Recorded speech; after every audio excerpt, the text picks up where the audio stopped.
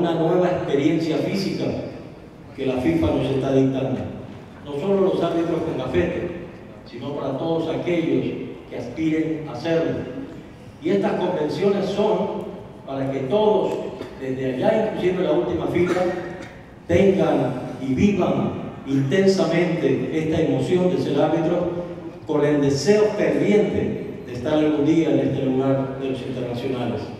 Sí, eh, en esta convención, árbitros guerrerenses eh, que son profesionales de segunda, tercera división y de árbitros de ascenso. También tenemos eh, árbitros que están en diferentes unidades académicas de la Universidad Autónoma de Guerrero que se están preparando pues en lo académico y también pues en lo físico, en lo teórico, para ser árbitros de élite, árbitros de no solamente llegar a primera división, sino buscan eh, ser árbitros también, árbitros internacionales.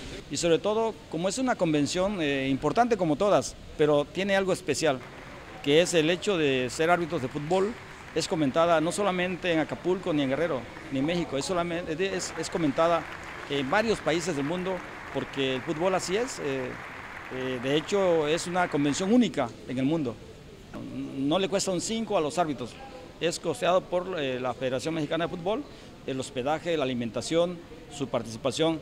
Y además, el hecho de estar aquí en esta convención, eh, pues obviamente, ¿cuántos árbitros no quisieran estar aquí en esta convención, conociendo las modificaciones a las reglas de juego, conviviendo con los árbitros internacionales, conviviendo con la misma comisión de árbitros, que los conozcan, porque hay árbitros que están en otros eh, estados donde es difícil que estén constantemente en comunicación con la comisión de árbitros y además eh, conviviendo con los árbitros de primera división. Y hoy esta convención, cuatro días conviviendo con ellos y la verdad se van muy contentos todos, se van motivados y regresando para ser árbitros y competir para ser mejores en, el, pues, en la próxima temporada.